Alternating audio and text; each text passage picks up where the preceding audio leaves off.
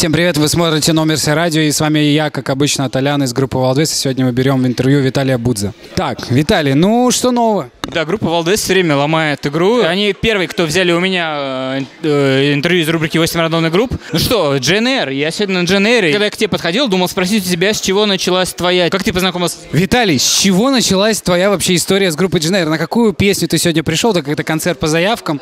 Какую из песен ты ждешь больше всего? Я могу рассказать, с чего началось мое знакомство с GNR. Это были времена, когда люди э, в Москве, по крайней мере, друг к другу приходили в гости с жесткими дисками, вынимали из компьютера, вставали в другой э, компьютер и копировали данные.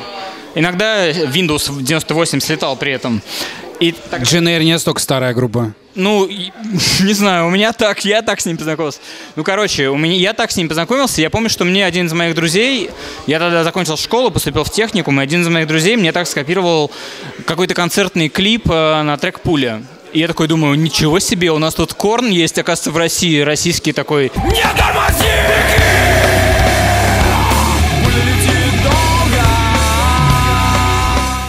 То есть с этого трека у тебя началось, да? Я с пули познакомился с ЖНРом. А Джанк тебе нравится? Э, ну, я считаю, что это Джанк, это достояние республики, конечно, это типа трек. Э... А какой лучший альбом группы? Блин, я не... Не Пьер Лаши случайно?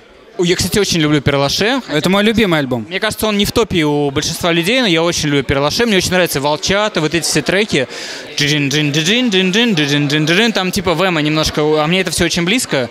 Вэма немножко все... У них тогда вектор сменился, а мне это нравится. А, ребята, сейчас с вами Корень из группы Дженейр.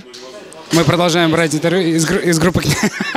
Слушай, да, Скажи, пожалуйста, смотри, такой вопрос. А вот аматоре пили раньше с Марун, да? Never Smile Used. А с чего пиздили вы? Там такая с, э, грядка исполнителей. А мы не пиздили. Дело в том, что у нас... э, Красава. Он, Чтобы уже, они- чтобы он они- уже справился со- с вопросом. Говорили, я уверен, что Deftones там э, присутствует так или иначе в разные годы. Так, хорошо. Слушай, какие-то, может, приз... как знаешь, как вот э, какими-то приправами, может, приправлено настроение из разных коллективов. Рифы я не пиздил, потому что у меня как бы не было... Мне лень было всегда снимать, как бы подбирать, я просто... Смотри, ладно, чем вы вдохновлялись в те года? Ой, там список там Spineshank, Taproot, Deftones, э, ну, Korn, понятно. А, всякие там хардкор-сцена, Sepultura даже старенькая тоже, она, она в сердечке. Человека зовут Корень, чтобы ты понимал. Как бы, конечно, Корн там имел место в то время, в те годы. А кто Джанк написал? А, мелодию? Ну, да, чья отправная точка, с кого началась? Ну, а то, что нам с Майка отдал текст, этот, э, эта точка была, и он у нас год лежал, мы не знали, что с ним делать. Мы его играли в фанке, мы играли в разных стилях иногда, потом забросили, потом случайно на репетиции мы джимовали, я сыграл свою партию, Гок сыграл на басу свою, Тоха свою. И мы такие... Мы... С Жанком э, главный э, вопрос, кто придумал тири тири тири тири тири кто этот риф придумал? Ну, это гитарный риф, вот о нем речь, что каждый придумал свой, свой, э, свою партию. Я придумал гитарную партию, Гог басовую, Тоха придумал интересный бит, который, кстати, не так-то и просто сыграть. Слушай, а когда вы записали Джанк, вы, ну, вы когда его релизили, вы понимали, что это будет, ну, такой песней, которая она стала в итоге, такой большим, таким большим треком? Или вы вообще не, не врубались?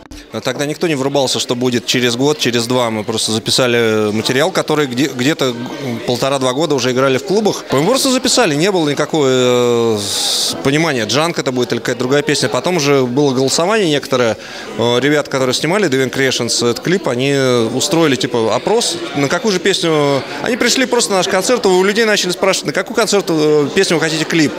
И большинство людей сказали на джанк. Они такие, ну окей, как хотите, сами напросились и сняли клип.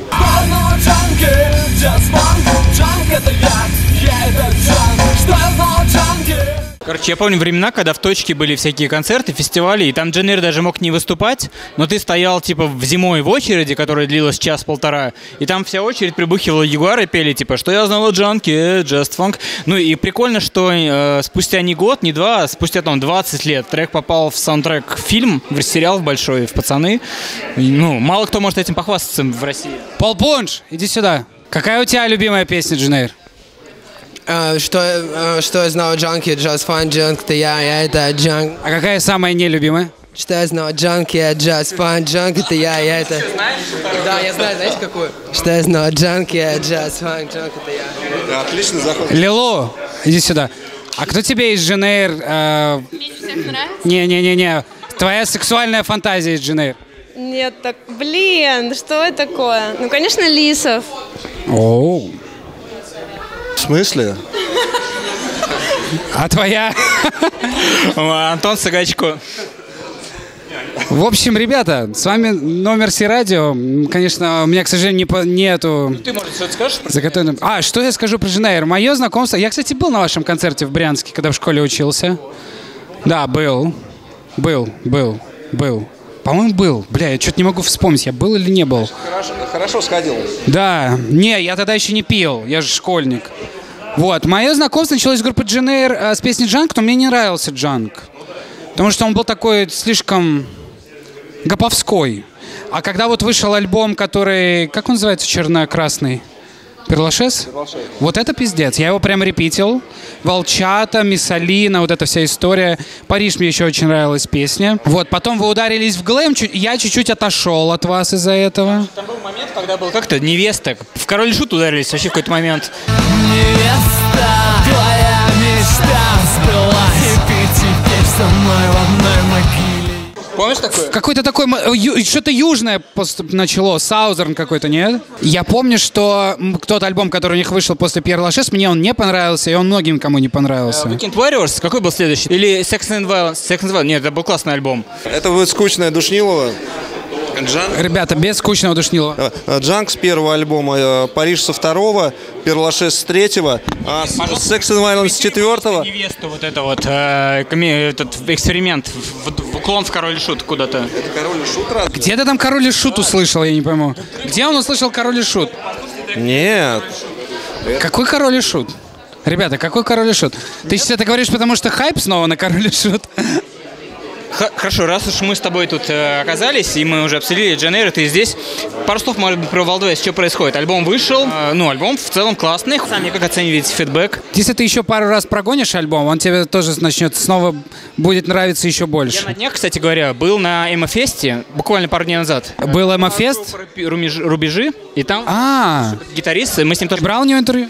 Э, Мы с ним просто немножко пообщались, я уже не помню, на камеру или нет. Но вы, вы ему тоже, тоже трек посвятили, правильно? Да. Нет, вообще... Короче, мы на следующей неделе поедем в тур. Вот, с презентацией альбома. А как альбом, ну, посмотрим. Сколько народу будет на концертах, тогда и будет понятно, классный альбом или нет. Вот. Ну, так тебе вот как стороннему слушателю. Мне сло- стороннему слушателю я люблю то, что делаю, в любом случае, понимаешь? То, что, ну, мне нравится, что мы, то, что я записываю. А как по фидбэку, ну, Пожалуйста, поясни по поводу вот, вот вашего этого клипа и трека Колумбия, клипа. Columbia Pictures. Я не так сказал, да? Как он называется? Калампи. Калампи.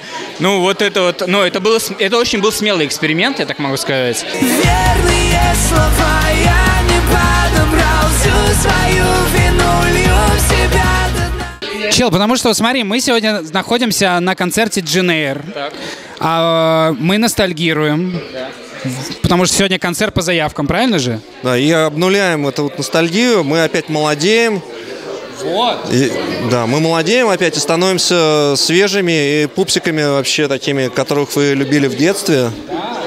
Все циклично, и поэтому с нашей песней «Калампи» и клипом на нее та же, та, та же самая ситуация. Мы повзрослели, мы вдохновились эстетикой 90-х, услышали в этой песне что-то из 90-х, и в детстве ж мы это не воспринимаем, особенно в когда будучи молодыми. Мы отрицаем это, да, нам же нравится, что потяжелее, более кочевое драйвово. А теперь мы стали замечать то, чего мы не могли замечать раньше в силу возраста. И поэтому нам захотелось, э, как это называется, амаш, да, или э, вот эта вся история. Но это тем самым мы отдавали дань той эпохе, которая действительно обладала каким-то своим шармом. И у меня, кстати, нет гарантии, что музыка, которая выпускается сейчас, также зафиксируется в эпохе, как та, которая выпускалась тогда. Нет, ну без сомнения, это была золотая эпоха, но просто вопрос в том, что просто ваша целевая аудитория, вряд ли этим людям, ну, в среднем больше 35. Слушай, да, ну блин, ну типа, нам все равно. Мы никогда не делали что-то по заказу. Я могу вам респектнуть за то, что вы не боитесь экспериментировать. Просто есть люди закомплексованные, которые понимают, что типа чего от них примерно ждут, и боятся сделать шаг куда-то в сторону. Так, так, слово корню. Я хотел сказать, что я сейчас отойду и вернусь. Вот и все. А он это где-то вернется. Короче, я- вам респект за то, что вы не боитесь сделать шаг в сторону. Как правило, всегда есть true фэны, да, которые ждут жести, металкора, хардкора там. И всегда они, типа, очень э, огорчаются, когда что-то выходит попсовое. Я не из их числа, но э, при этом я могу вам респектнуть, что вы не А, Лилу, иди сюда. И тут есть еще звезды какие-нибудь в гримерке, нет? Кроме Лилу, тут есть звезды в гримерке еще? был Тимати, нет? Можно мой ответ перезаписать? Так, Лилу, давай. Здесь склейка. Ты меня спрашиваешь еще раз. Что? Ну, сексуальная фантазия. Ты меня еще раз спрашиваешь. Твоя сексуальная фантазия из группы Дженей. Толик из Wild Ways. Это понятно, бля. Это понятно. Звезды есть еще? Вот тут басист 5 диез у нас. Идите сюда, пожалуйста. А нас интересует всех один вопрос. Раз уж сегодня такой ностальгический концерт интервью, вы собираетесь возвращать Волынку в творчество? А Волынка уже присутствует в творчестве. Ребята, Волынка уже присутствует. Все отлично. Как прошли ваши концерты? А Роскошнейшим образом. Агломераты, фактори, э, агломерат, кайф. Лила, ты слушала 5 диез? А, я была на концерте. В смысле? В 5, ди- в 5 ди- ну еще в- э, Гриша Карпов играет в 5 диез, во-первых, и я была на 5 диез, когда мне было 17 лет. А это 12 Скажи, лет. пожалуйста, на камеру, а, это, ребята, это Лилу. Скажи, пожалуйста, сколько концертов Дженейр ты посетила? Это мой 23-й концерт за 16 лет. Кстати, 23-й концерт группы Дженейр. Я, кстати, на подкасте Hangover сказала, что я лютая фанатка Дженейр, и я еще раз это повторю. Я не помню, был у меня первый концерт Дженейр или нет. Я не могу вспомнить, это второй концерт или первый? У тебя какой? Пятый где-то плюс-минус. Я почему-то думал... Первый я не помню тоже. Не-не-не, Да и 23-й это год за два, как, как в СИЗО. В общем, ребята, мы вернемся к вам, как только найдем еще звезд в этой гримерке. Поэтому с вами был номер Си Радио и его бессменный ведущий Анатолий Борисов. Спасибо, что с нами. Лайк, репост. Спасибо, что досмотрели ролик до конца. Будем рады вашим лайкам и комментариям. Будем благодарны, если подпишетесь на канал, нажмете на колокольчик или расскажете об этом ролике на одной из своих страниц в соцсетях. Ну и ссылка, по которой нас можно поддержать рублем, также в описании. Имена донатеров мы будем публиковать в титрах наших роликов. Спасибо. No.